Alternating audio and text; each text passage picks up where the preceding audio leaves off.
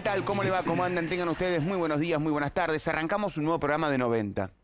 Voy a salir del resultado porque eh, e- ese empate sobre la hora, minutos ya de descuento de Borja, es como que nos aplacó un poco, ¿no? Si bien, si bien la, la selección argentina cuenta para mí con algo muy a favor, muy a favor, no está en la calle, en el debate, en la calentura, todavía no. Todavía no. Entonces le permite dar estos primeros pasos sin una gran presión. clasificándose. Estamos bien ubicados. Sí.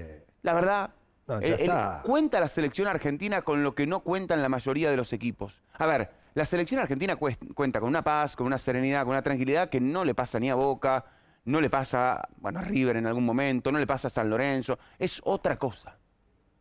Es otra cosa. Se puede trabajar tranquilo en el seleccionado argentino. Sí. Me parece, ¿no? Se puede Sí. trabajar tranquilo en el seleccionado argentino. Los- llamar a los futbolistas que querés, no tenés que andar usando la billetera, no tenés que decir compro a tal, compro acá, tenés que elegir. Y los jugadores están tranquilos. Y para elegir creo que la selección tiene. De hecho, me parece, y en esto sí el entrenador me parece que ha acertado, ha encontrado algunos futbolistas, Sí. agarro Cuti Romero, que yo la verdad lo tengo que felicitar. Porque hay, hay cosas de Scaloni en la elección de los jugadores. Por ahí todavía lo que no Ah, está ¿qué hace definido es realmente a qué va a jugar el seleccionado argentino. Ahora, yo les voy a decir algo desde este lugar. Y se los digo ahora, ¿eh? por ahí tenemos la posibilidad de, de- ¿saben cómo es esto? De perder. de- A mí hay algo de la selección que me gusta. Algo y, y bastante más de la selección que me gusta. A mí me gusta el seleccionado argentino. Me gusta aún con sus defectos. Defectos que hay que corregir porque si no te volvés de un mundial rápido, ¿no? Son defectos, yo diría que son pecados de juventud. Porque la selección argentina es un equipo joven.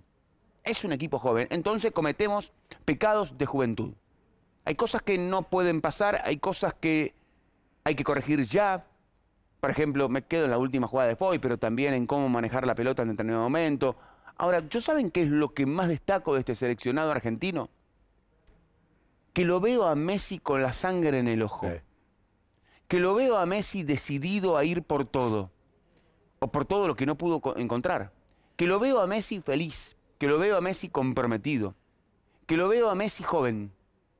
Realmente lo veo a Messi joven. Ayer se mandó un pique, minuto 85, Sí. 86, la guapeó, la peleó con uno que era enorme. Sí. Que esto, que- y se la llevó. O sea, veo un Messi, más allá de sus condiciones futbolísticas que son recontra increíbles, lo veo combativo. ¿No lo ven combativo? Sí. Combativo, pero combativo no que se quiere pelear con el... No, combativo, combativo No, en la no, cancha, sí, vamos, sí. la- vamos, salí. Yo creo que eso para el seleccionado argentino es una excelente señal. Veo a la selección con buen semblante. Lo veo, lo- la, la veo fresca, la veo bien, la veo con dinámica. La veo que grupalmente me parece Claro. se llevan bien. Sí. Ahora, después habrá que corregir todo lo que tenemos que corregir para llegar al Mundial y ya en el Mundial poder competir con las grandes competencias. Dejar el Perdón, mundial. poder competir Vamos con las grandes potencias. Ahora, La señores, yo soy hincha del seleccionado argentino y probablemente como hincha hay cosas que no les veo. Detalles. Ahora, a mí me parece, me parece, ¿eh? que tenemos que tenemos buen futuro. Sí. Yo creo que tenemos buen futuro. Sí. Corrigiendo cosas. Las tenés que corregir ahora, pero tenemos buen futuro. Sí. Está muy Eh, bien. hola Seba. ¿Qué Hola, hace, hola Cabezón. papá? Hola. Tenés hola, razón, tenés razón. ¿Te gusta, amigo? Tenés razón. Yo, del te mundo. voy a decir algo, Sí. más allá de lo que me puedan decir. Esta selección me ilusiona nuevamente. No la euforia, me ilusiona nuevamente por las variantes que tiene, porque tiene posibilidad de, de armar un gran equipo, porque los veo contentos de venir a la selección argentina. Y no es una frase, viste, que la decís simple, algo más. Lo demuestran. No, lo demuestran que están bien, están bien entre todos. Está todo bien ahí adentro. Se bancan al entrenador, se bancan a los entrenadores, a todos. eh, los jugadores están contentos entre ellos. Se nota Yo- lo que dijiste de Messi, ¿eh? A nadie ven Me como encanta esa, oveja esta, negra. esta versión No, de Messi no. combativo. No, A nadie ven como oveja No. negra. no. ¿No? Esta vez yo te digo una cosa. Esta que- Copa América que empieza la semana que viene, Yo- A mí me ilusiona este, esta selección, ¿eh? Tiene cosas muy buenas. Vi un marcador central ayer enorme, ¿eh? Yo no lo tenía. Romero. La, Romero, la verdad, yo no lo tenía claro, claro, claro cómo era, quién era. El gol pollo metió un cabezazo, pero como nunca. Hacía mucho que no veía un cabezazo tan fuerte de la manera que le metió. puedo decir ¿eh? algo, Cabeza? Después lo veo malo cuando va a trabar, va dividida, malo. Y cuando tiene que jugar, juega. Te voy a decir algo. Bastante El gol de cabeza me hizo acordar a Pasarela, a vos, Sí.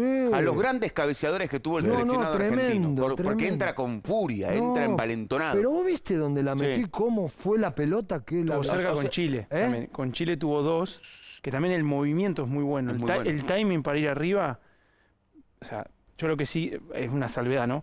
No es un jugador que se descubre.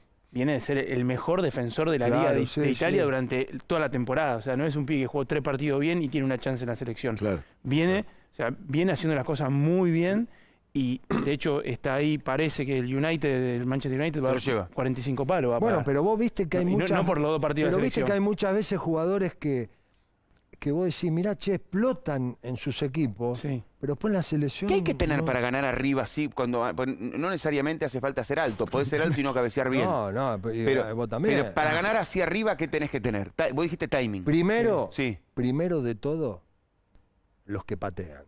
Y le tiró un centro bárbaro de Pole. que te tiren el centro, porque Messi de esa posición te hubiese tirado el centro Al revés. hacia adentro del arco y es más difícil ir porque vos va y la, medio la peinás. Sí. No tenés la fuerza. ¿Vos qué Al ir así, no tenés la fuerza ¿Qué para necesitas pegarle. vos? ¿A vos te tirabas siempre A mí me gustaba. siempre no, Maradona bueno, te Diego me tiraba de la izquierda Del- y Burruchaga tiraba a la derecha. Ah, cada uno con- no, ti- no tiraban con pierna Mucha- cambiada. eh, Burru tiró el centro del Tata, que hizo el gol el Tata. Era derecho de la derecha, izquierdo de la izquierda. Claro, ¿A no, vos te Diego gustaba? iba mucho. A mí me gustaba, sí, Diego de la izquierda, Burro de la ¿Por qué? derecha. Porque la pelota viene Me hacia vos. venía para afuera y yo entraba y ahí le daba fuerza vos a la pelota. Cuando es así, lo único que podés hacer es anticipar, pero no te da fuerza. Solamente tocarla porque cuando van así, la anticipan y... La y- corregís, claro. No, y es gol, porque Claro. no, no, no. Bueno, Borja, que es el que termina siendo. eh, Tiene previamente, apenas entra, tiene un cabezazo que le cambia el palo a. Sí. Que pasa así. Sí. Que también el timing para ir arriba y cambiar de palo, tremendo.